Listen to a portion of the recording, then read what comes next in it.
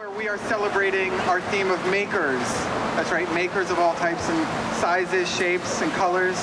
Um, we're excited to bring you here to the Met and explore how people around the world find inspiration through materials and technology.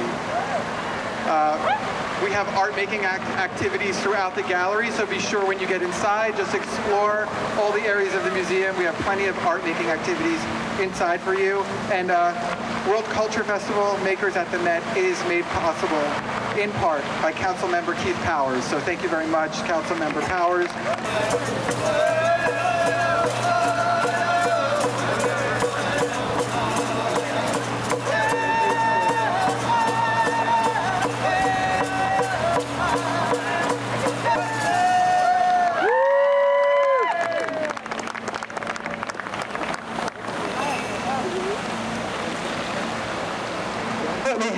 This is what we call a welcome or greeting song. Now, among many of the tribes, traditionally, when they go to visit another group, they always sing a song to say hello or to welcome or to be there. And I think that's a great way to meet or greet someone. I always tell people the next time you go to see a friend of yours and you knock on the door, and you knock on the door, when they open the door, sing them a song, and I can guarantee they're going to have a big smile on their face, and they're going to say, wow, it's so good to see you. Well, that's the good way to greet someone. So that was our greeting song for you today.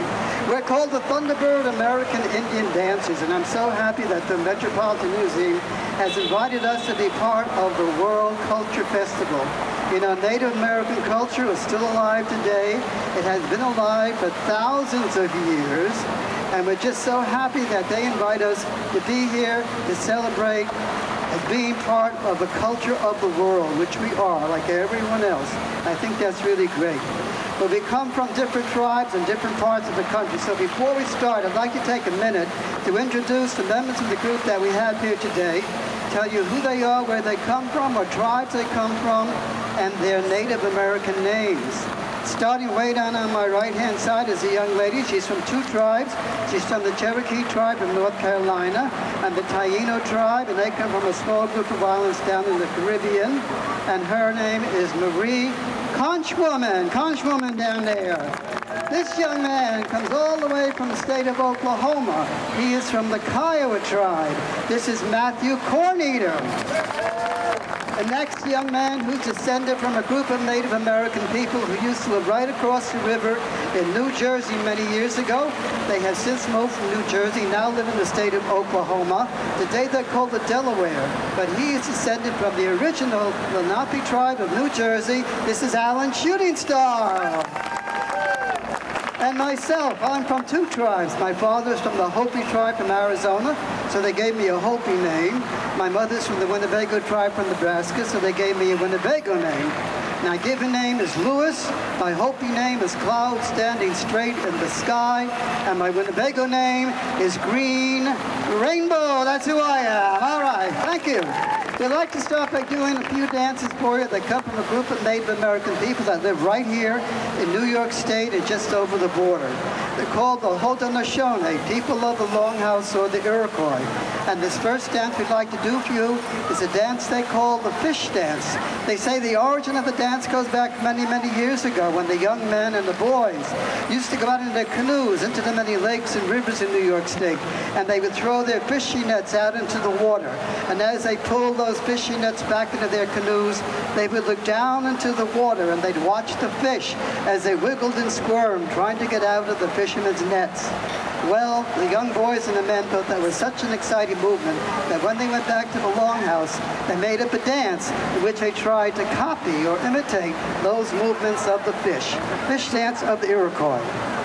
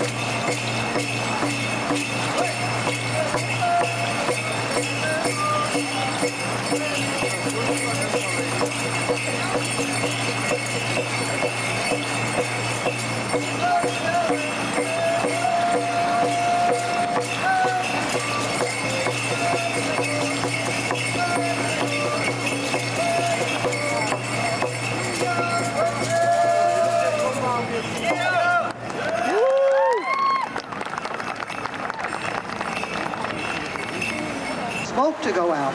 Now, on certain days during the wintertime, there wasn't enough wind or draft that came in the doorways to carry the smoke out the smoke hole. So what the people would do is they would get together, get very close to the fires, and they would dance. And as they moved their feet and they moved their bodies, this would help to make enough wind or draft to carry the smoke out the smoke hole. So they call that dance the smoke dance.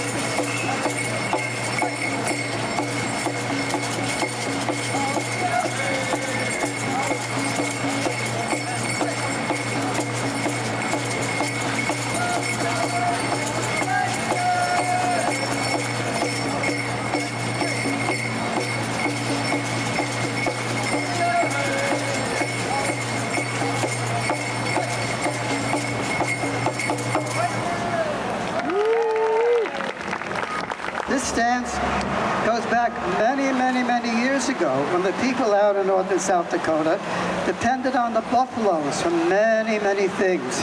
Number one, of course, the buffalo was their source of food. Number two, the buffalo hides they would use to make their houses or teepees. Number three, the buffalo skin they would use to make their clothes. And number four, the buffalo bones they would use to make spoons, knives, needles to sew with. And the boys and girls used to take the buffalo ribs, which are very, very big. They would tie those together and they'd make a sled out of it that they could slide down the grassy hills in North and South Dakota. But three or four hundred years ago, the buffaloes didn't stay in one place. They wandered all over North and South Dakota. And because the people depended on the buffaloes for so many things, wherever the buffaloes would go, that's where the people would go. So the people moved from one camping area to a new camping area very often. But before they moved into a new camping area, they would send out a group of dancers and these dancers would go into the new camping area and they would dance. But they were doing something else that was very, very important. Because out on the Great Plains, there's this very tall grass that grows. Not many trees, but a lot of tall grass. And what these dancers were doing is they were dancing, they were taking their feet, and they were crushing down the tall grass. So when the rest of the people arrived, they'd have a nice, smooth, flat area to put up their camp. And they might send out as many as 100 or 150 dancers. They might be out there for a couple of days dancing. And at that amount of time, they'd be able to crush down a nice large area for the camp. So they call that dance the grass dance.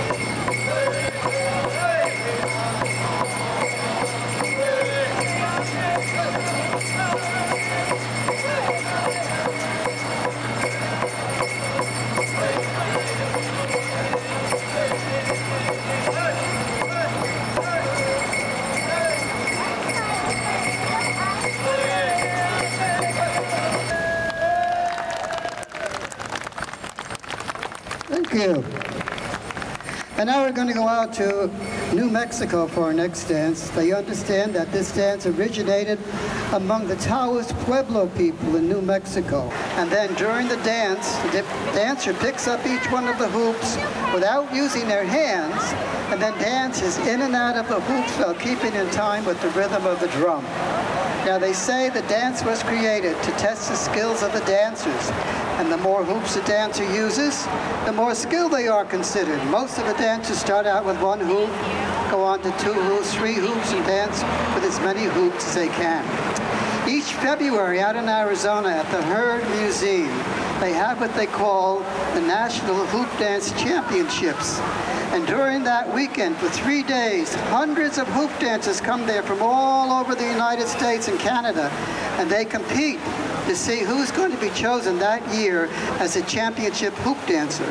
Now, in past years, the championship hoop dancer prize has gone to mostly the men, but I'm very happy today to say that today the women are participating, and many of the women now are taking the title of Championship Hoop Dancer of the Year. And so I'm very, very pleased to present our young lady here. She's been doing this dance now for about six or seven years. She's a very accomplished hoop dancer, and we're hoping very soon to send her out to Phoenix, Arizona as a New York City representative in the Women's Challenge. So this is a hoop dance now from the Taos Pueblo people of New Mexico.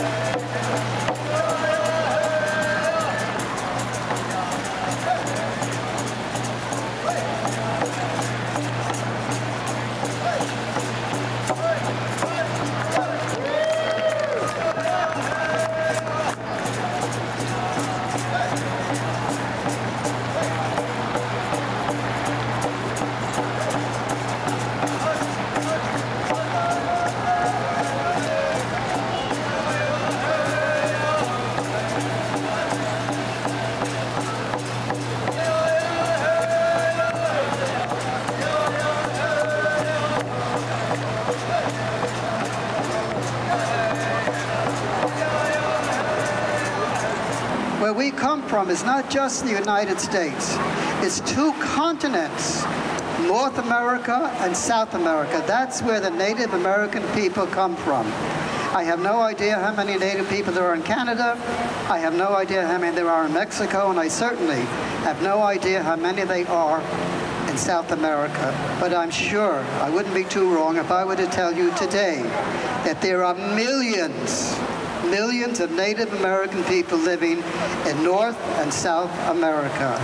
And yes, I think the important thing to remember is we are still here.